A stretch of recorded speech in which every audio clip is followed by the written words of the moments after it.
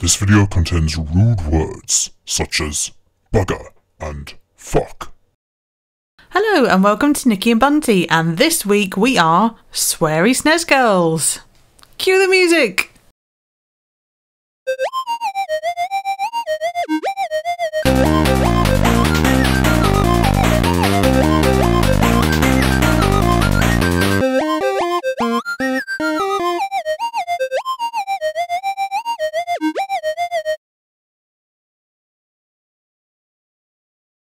So I started to look for um, rude words in SNES games, As you do. as you do, because that's that's just what I do. Um, when I've got time, I search all the SNES ROMs in the world for words like fuck And bugger.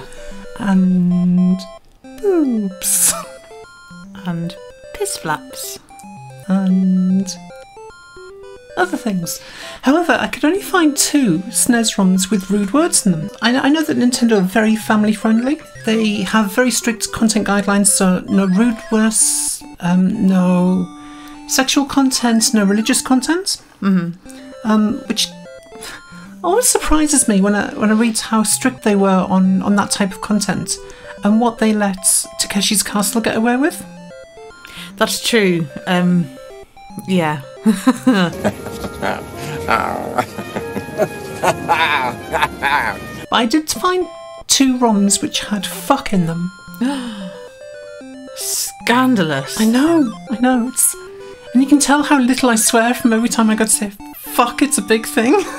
Whereas I'm just like, oi, cunt. Lots of cunts. the two ROMs were the Lawnmower Man and Unirally. And the, the list of words they had in them, they had lots and lots of swear words in them. And it was all related to putting in your name in the high score table and naming your characters. So they wouldn't let you name your character shit, for instance, because that has a bad word in it. And the bad word is Shit. That's right. Of the two ROMs, Unirally would not allow you to have any of the following words in your name. And even worse than that, you couldn't have any of the words in any position in your name. And the list of words is Shit. Fuck. Damn. Bastard. Cunt. Ass. Bottom. Twat. Butt. Wank. Prick. Liquor. Jism. Jizz. Face. Crap. Piss. Penis. Head. Bloody. Hellfire. Bitch.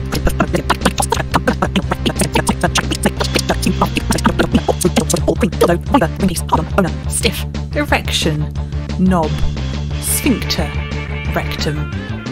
you can't include the word breath on in your name in Unirally on the SNES, but you can include the word cock.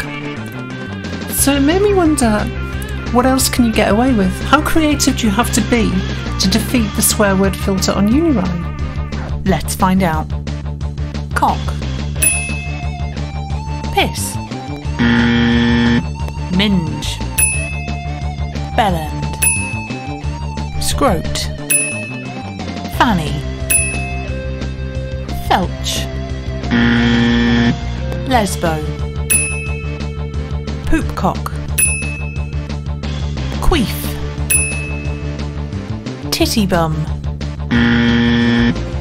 Titty. Knob. So, Bunty, I've just noticed something that there is an O there, and there's a zero, and they look exactly the same. What if we put in a zero instead of the O? Frothy. Skeet. Skeet. A new fragrance by Calvin Klein. Crevice. Vagina. Pussy. Taint. Clam. Muff lips. Bush. Gooch. Squirt. 69.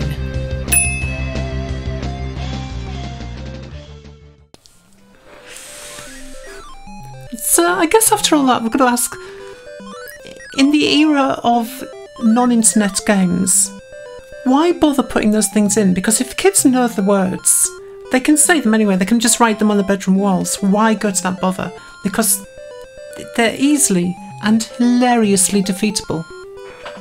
Yeah, and to be honest, if I if I'd had this game as a kid and I tried to put my name as arse and I couldn't, I'd then go, well, I'll try bum and I'll try cock, and then I would try every single dirty word I could think of until I got one through.